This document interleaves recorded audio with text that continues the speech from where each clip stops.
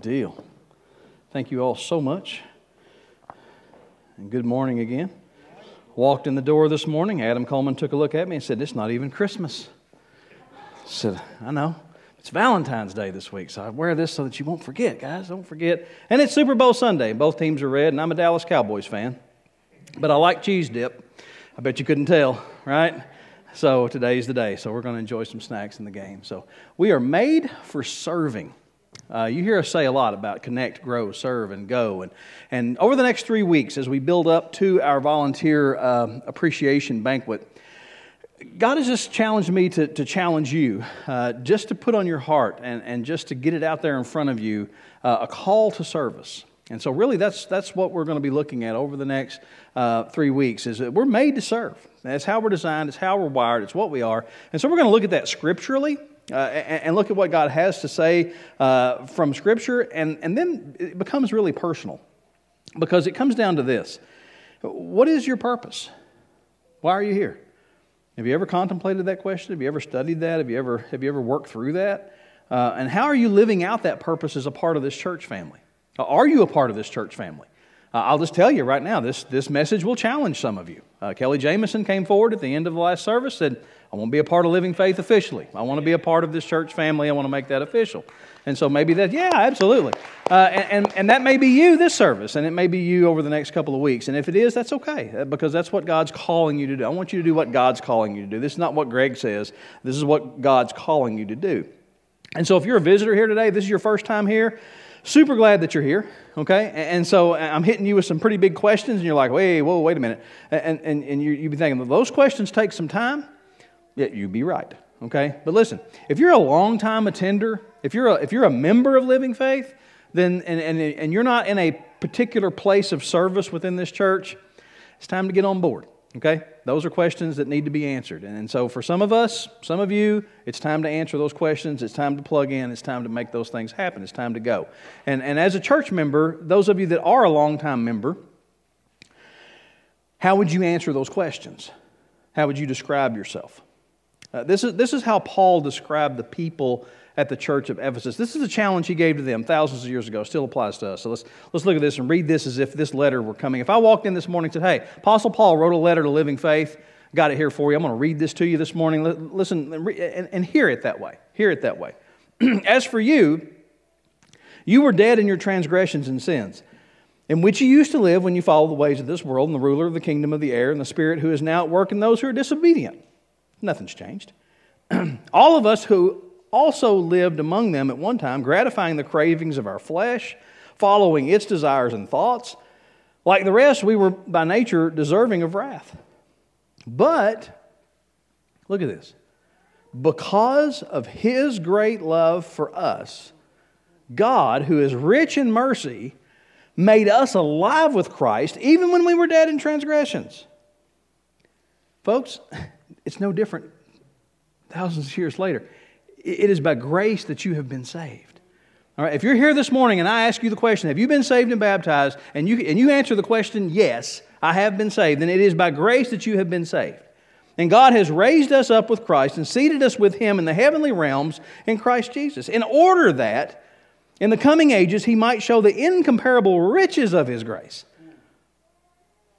He gave a lot for us. It's expressed in his kindness to us in Christ Jesus. For it is by grace that you have been saved through your faith. It is by grace that you are saved through faith. It is not from yourselves, it is the gift of God. And it's not, we're going to be talking about service, we're going to be talking about works, but listen, you don't get saved by your works. You work because you're saved. That's the, that's the way you understand that.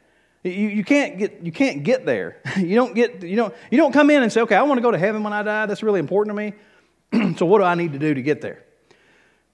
I want a list. Sorry, I got no list for you. Okay, because it is by grace through faith in Christ and what He did on the cross on your behalf. That's it. That's all you have to do. And if it, and the reason why, you can't brag about it. That's why I said, so that, lest anyone could boast. We are God's handiwork. And here it is. Here, here's the meat and potatoes for today. You're created in Christ Jesus to do good works. That's why you're here. So when I ask you that question, what's your purpose? There it is. Okay? There's your answer. You were created in Christ to do good works, which God prepared in advance for us to do.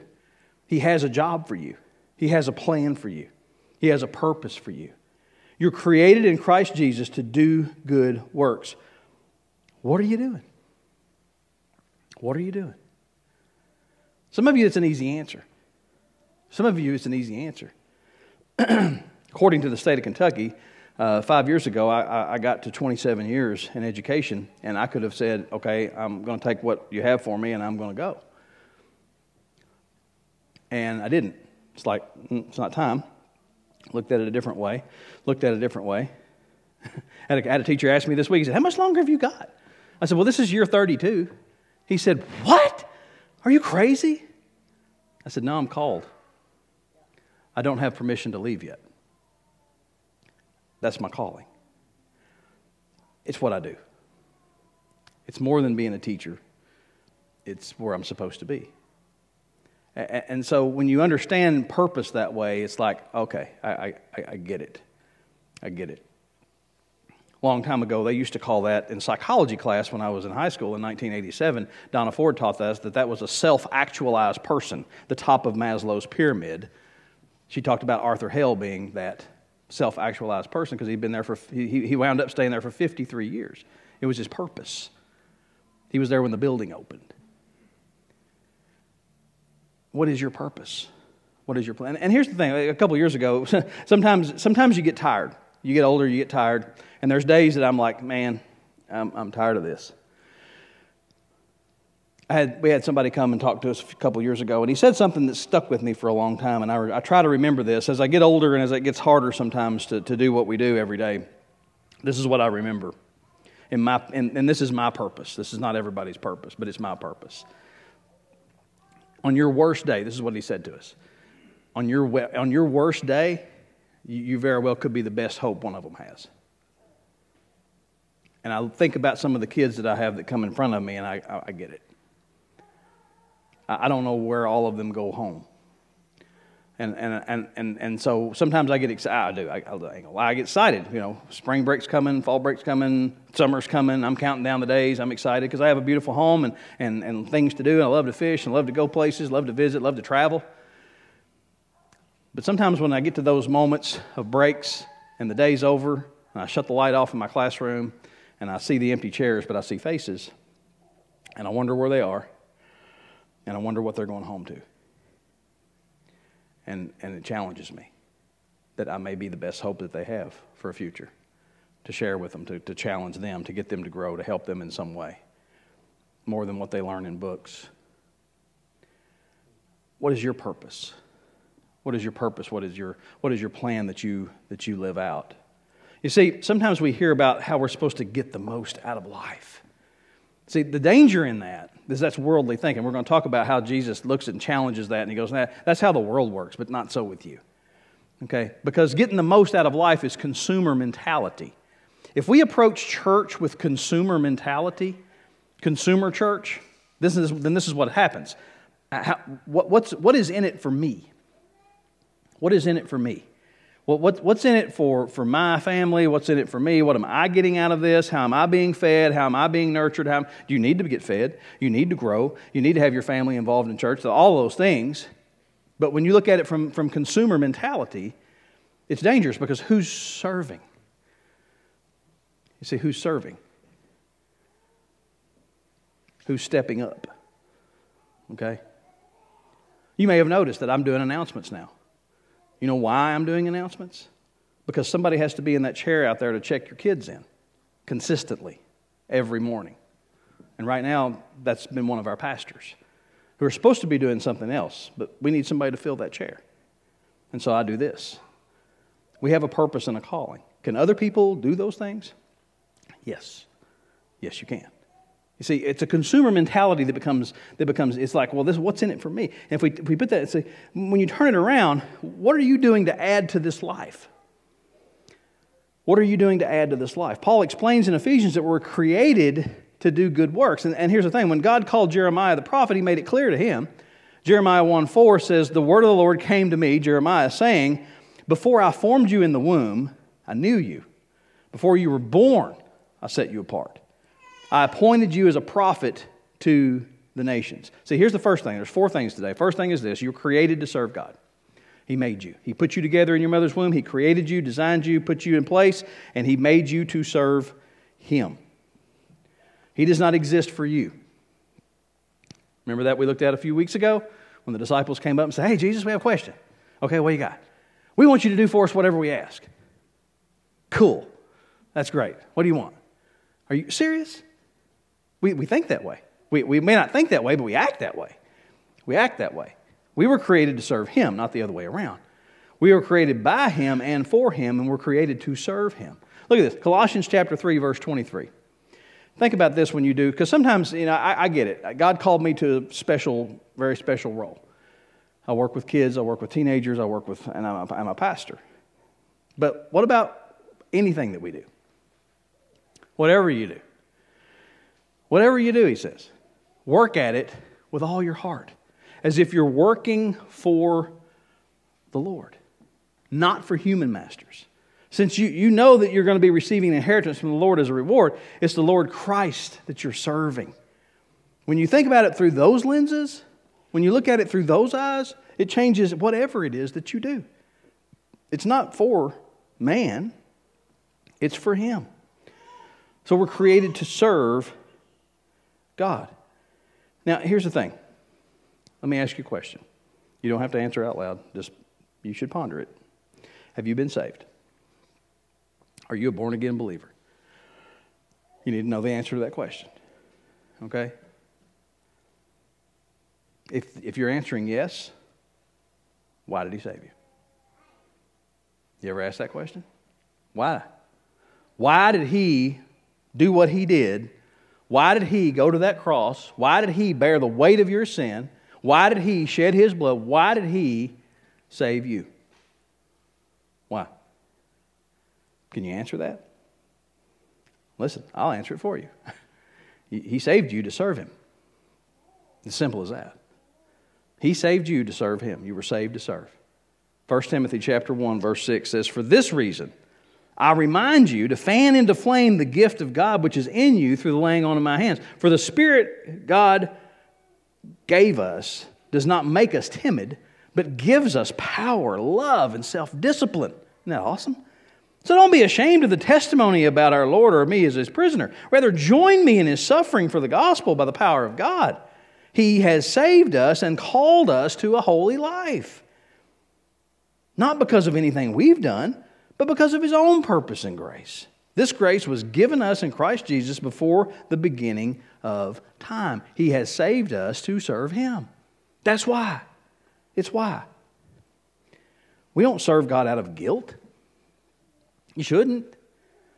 If you are, it's for the wrong reason. We shouldn't serve Him out of fear. You know, you shouldn't serve Him out of duty. Oh, I got to go do that. I got to go work the door this morning because that's my duty. No, no, no, no, no, no, no. No, that's not it. You missed it. Not guilt, not fear, not duty, out of joy. Out of joy, out of a deep gratitude of what He's done for us. You see, we're saved to serve, not to just sit around and wait for the bus to heaven. Okay? Unfortunately, there's a lot of churches that are filled with ticket holders. Got my ticket.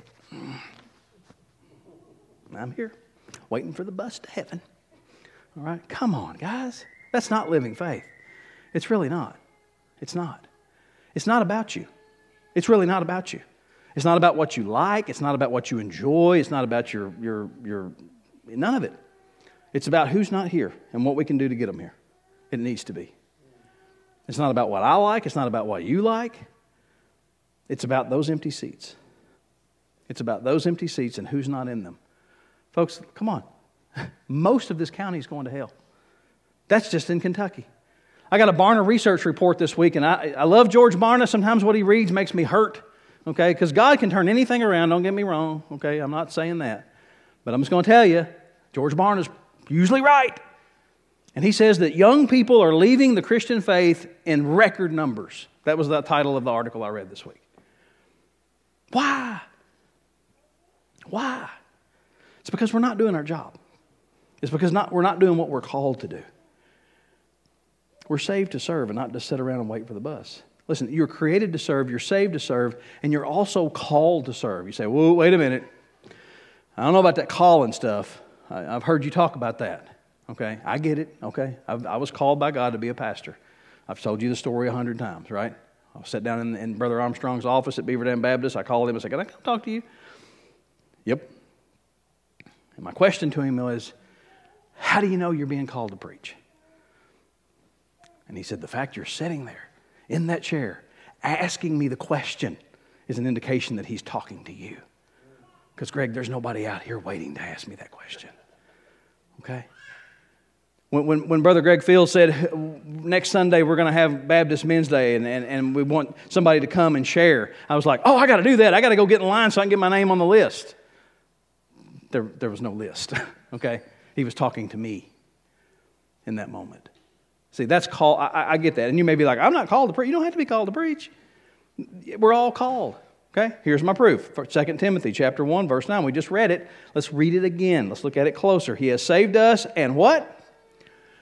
Called us. Okay? He has saved us and he has called us to a holy life, not because of anything we have done, but because of his own purpose and grace.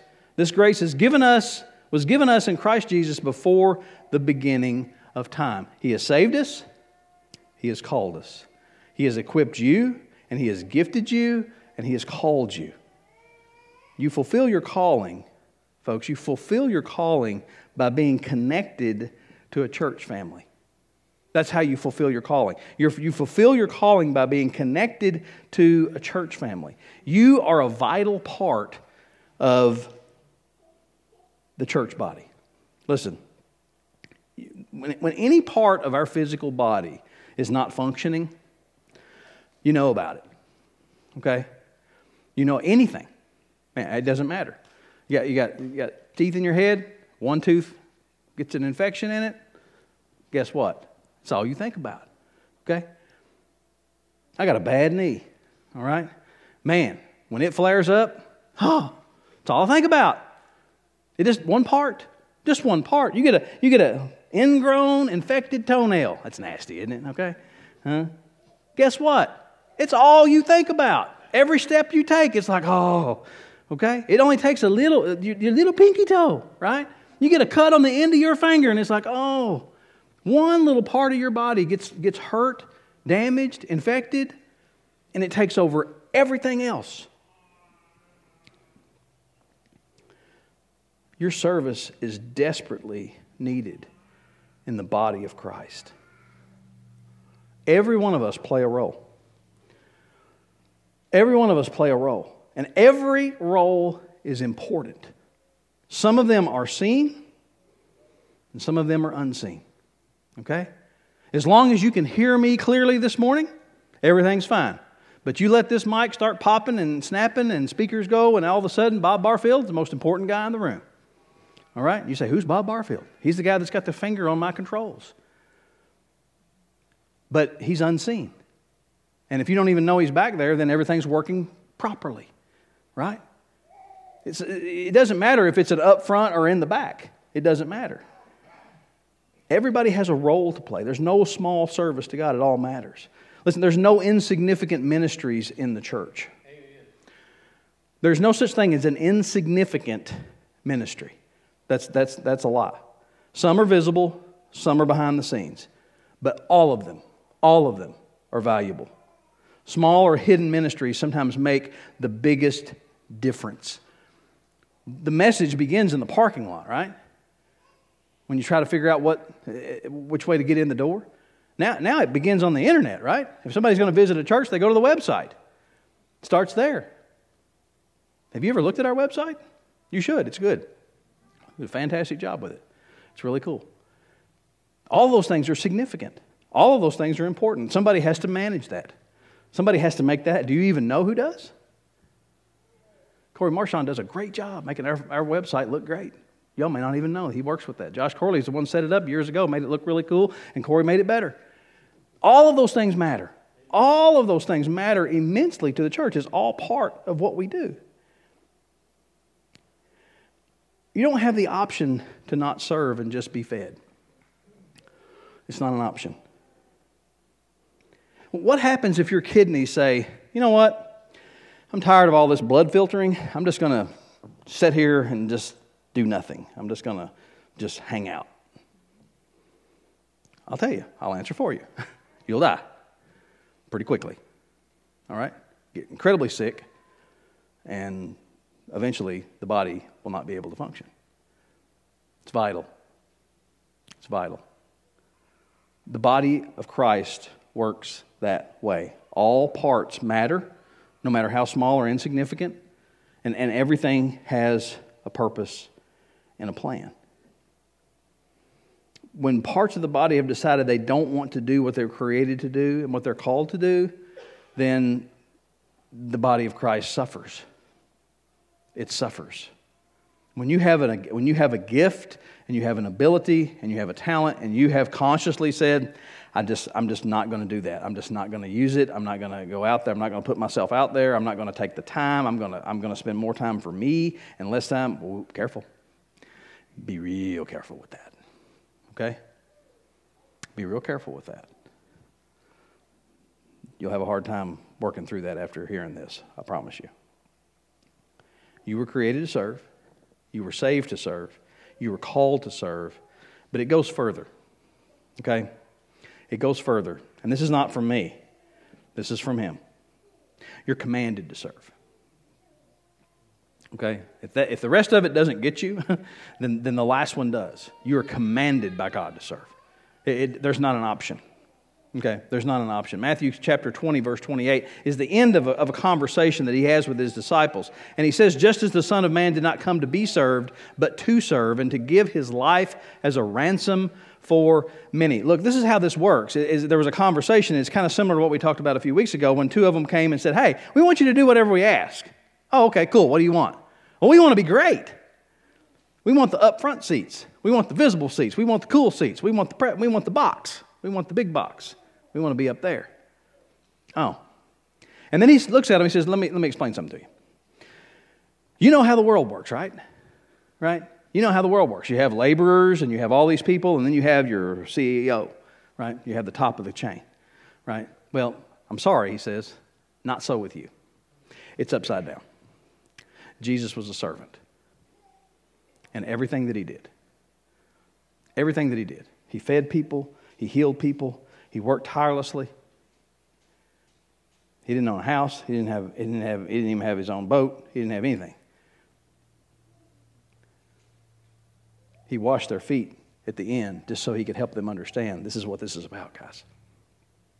This is what this is about. It's about service. We don't have an option. He didn't give us an option. We have to act on what we know and practice what we claim to believe. I heard a pastor once say that impression without expression causes depression. You get that? Impression without expression causes depression. You got to do something. Study without service leads to spiritual stagnation. Listen, it's, uh, Bible studies are great. okay? Small groups are vital. It's part of what we do connect and grow. But then you got to go do something. You just don't keep growing. When you get to heaven someday, it's not going to look like this. It's not going to be, he's not going to look at you and say, You are so smart. man, you studied the Bible more than anybody I know. Come on in here, man. That's all. You know just about. No, let me tell you, when you get there, it's going to be like, Wow, that was very different than anything I. So, so look, if you've got the basics, all right, you're good to go. Let's get to work. You can study all you want, and I'm not knocking it at all. You need to read it cover to cover. You need to be in groups. You need to discuss it. You need to do all those things. But in addition to, you've got a place to serve. Because this is more like the question that's going to be asked on that day of judgment is how many did you get? How many seats did you fill? How many did you share the gospel with? How many people that, that how many did you rescue from hell? How many did you change their life?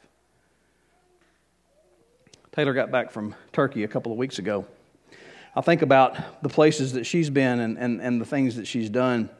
And a few years ago, it's been several years ago, she went into India we couldn't share where she was going when she went because India can be dangerous. And I remember giving her a Bible when she went there uh, to share, to give to someone. And I'll just tell you, I didn't, I didn't, I didn't feel the weight of where she was at and, and the risk that she was in. And, and of course, she was she's a student, and, and it's a little different in that situation. And so it's not that she was under that, uh, that much. But, but I was reading something this week, and, and it dawned on me, and I, I, I copied it, and uh, I, sent it, I sent it to her uh, about a, a, a, resident of, of India. His name is uh, Vijay. Vijay is an elder of a church in Madhya Pradesh state. He left Hinduism, which is the religion of that country. And that's why we can't go in to say we're here to share the gospel. He left Hinduism to follow Christ after being healed of tuberculosis, and his faith in Jesus Christ meant everything to him, and he knew he had to share his faith with others despite the risk that he was taking. And you ask, what risk is that? Well, Vijay led his wife, many of his relatives to the Lord. He didn't stop there. He boldly shared the gospel with local villagers, and eventually more than 30 Hindu families placed their faith in Christ. As the gospel spread, so did word of Vijay's evangelistic pursuits. And one afternoon, while his wife and children were away, Vijay lay down to take a nap after a long morning of working with his cows. And he awoke to find his home engulfed in flames. A group of Hindu extremists had set his house on fire and fled the scene. Their hope was to kill him and silence his gospel witness. The fire destroyed his house, it killed several of his buffalo, his goats and cows that his family depended on for their livelihood. But he got away, he managed to escape. This is what he had to say. When he reflected on the incident, he quoted Job chapter 1, verse 21, and said, The Lord gave and the Lord has taken away. Blessed be the name of the Lord. And though his face and his hands were scarred by the flames, he remains joyful. And he says, If I'm alive or dead, it will be for Jesus only. And I think about that Bible that I gave Taylor when she went there. And I told her when she went there, I said, find the right person to share this with.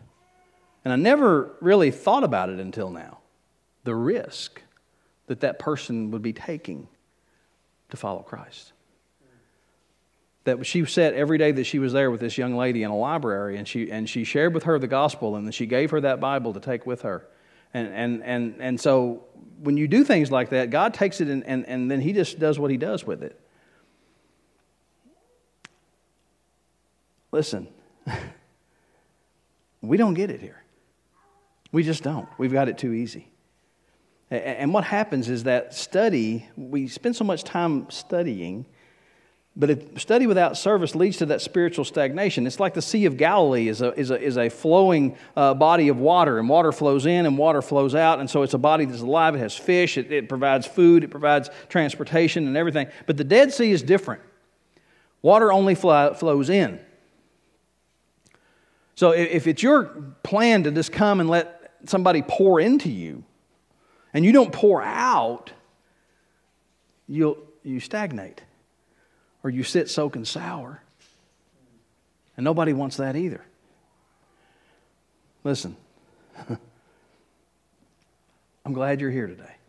But if the only thing that you're doing is going to church, it's not enough. It's not enough. Okay? Most Christians already know far more than what they're putting into practice. All right? I'm, I'm being serious. And you're like, well, you know what? Yeah, forget that. Most Christians already know more about the Bible than they're even coming close to putting into practice. If, if, if it were, our, our buildings would be full. Because we're not witnessing, we're not inviting, we're not doing the work. It's not my job to go and get everybody. Okay, it doesn't work that way. It comes to an end of itself. I can only talk to so many people, I can only disciple so many people. And so an old pastor told me once, he said, you, you keep them the way you get them. If you're the one that gets them, then you're the one that has to keep them. But listen, when you, when the body, when the body witnesses, when the body invites, when the body disciples, it multiplies. And that's the way it's designed to do. That's the way it was always designed. Jesus didn't come to get them all, He got 12, gave them the plan. And there was no plan B. And that's the way it works. Listen, most of the time we're more interested in serve us than service. So, my challenge for you this week is take a little time. Take some time and think about it. Take some time and think about it. I, have created some seeds, maybe stepped on a toe or two. That's okay. I'm aiming for your heart. Take some time and ponder.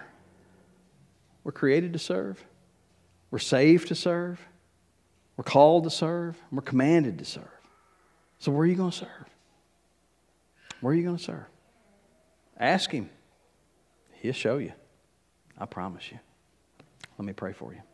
Father, we thank you so much. We thank you that you called us. We thank you that you, that you made us, that you saved us, and that you want us to partner with you. Father, sometimes we just need to be um, encouraged a little bit. Sometimes we need to be kicked a little harder. You're pretty good at it. Father, whatever it is that we need to do, show us. However, we need to respond to this, show us. Father, we just take this time of invitation and reflection just to lift your uh, name up and, and, and just invite your spirit in. And Father, maybe there is somebody that's here that's never said yes to that relationship that you offer, and, and you are calling them personally, and they need to respond now personally. Father, you know what we need to do. We're going to put this time and, and we're going to just dedicate it to you, Lord. We pray it, we ask it in Jesus' name. Amen.